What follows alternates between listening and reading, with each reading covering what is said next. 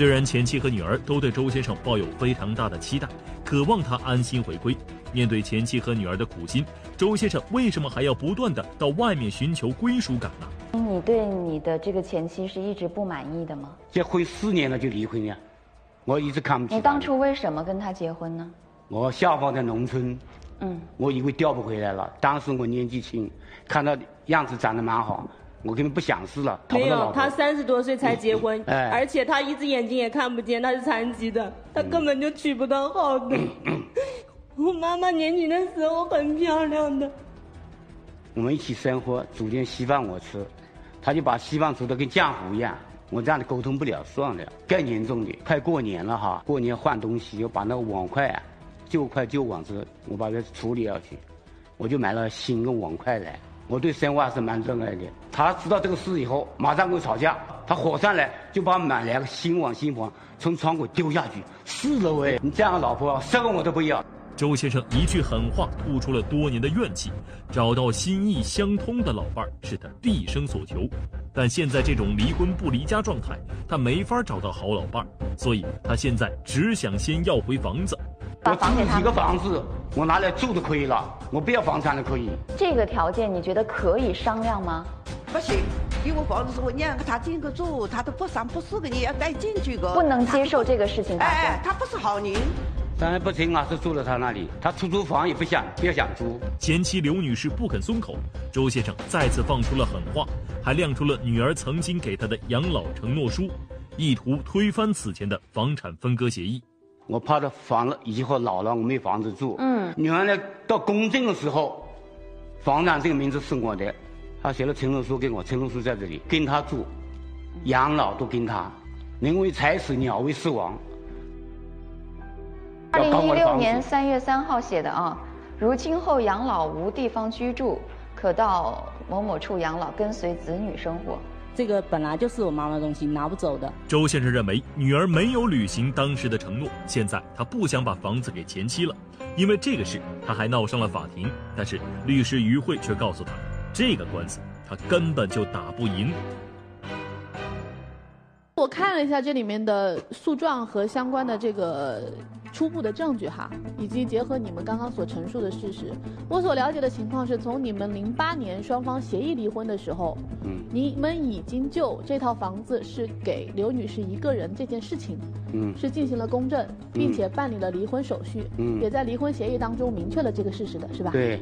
所以这个房子从零八年的时候，你们是双方已经协商一致了，给刘女士名下一个人的是吧？给她不错。所以到了一六年的时候，你女儿跟刘女士提出来让你配合办理一下过户手续的时候，你提出了不同的意见。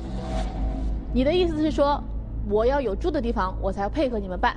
他写了承诺书，我就同意。啊，你女儿写了承诺书，你要保证我有住的地方，对对对，我才要去配合你们办。对对对。但是我要告诉你一点是，零八年的时候。这套房子的所有权，经过你们双方的离婚协议已经明确了，所有权只是刘女士一个人的。你配不配合办理这个过户手续，你是有这个法定义务的，不是你要提条件的，就是你配合办，这是你应该的。你不配合办，法律也会让这个房产可以过户到他一个人名下的，因为你们的离婚协议是经过了公证的，经过了公证处和民政局视为你们解除婚姻的一个前提条件的。你们都犯了一个问毛病，叫感性不理性，理性不感性。那我先说一下这个母女二人啊，就是你们看到你父亲在婚姻上找了外面的女人，你们马上就理性了。理性就是我把这财产要分割，把房子给了母亲，因为母亲是是受害者，这叫理性不感性。但是呢，又有感性不理性。当你父亲在外面找女人的时候，就像你父亲说的，我已经离了婚，我在外面找找人是合法的。那这个时候呢，当他回来的时候，其实从女儿的内心，从前妻的内心是接受不了的，所以呢，又是感性不理性纠缠在一起。那再说一下这个老先生，我说你是感性不理性，当你想释放自己的欲望的时候，在外面找人的时候，那个时候是接连不断的去找，然后又说你是理性不感性的，对家人有需要的时候，你不断的抬出那句话，我养了你二十年，然后有那个合同，但是你想过你女儿的感受吗？他心里接纳不了。那么，当一个人理性不感性、感性不理性的时候，就说明我们一家人都缺乏一个东西，缺乏一个智慧。我们都像一个小孩一样在处理问题。老先生，你自己在家里的榜样做的真的不好，用道德去套牢你的女儿的时候，你怎么不不套一下自己呢？你们两个人在一起生活了四十年嘛，退休前后到底发生了什么？你突然之间像变了一个人一样释放，那那个发生了什么？你的心态有什么变化？从结婚起就吵架，吵到我退休。女儿小不敢离婚，要负担；但女儿大了，我考虑她出嫁。我就想想算了，到退休再离婚。你刚刚说，第一个，你选择这段婚姻是因为没有办法，然后这个时候你就选择理性了。虽然你到了七十多岁，我觉得对你对婚姻的态度。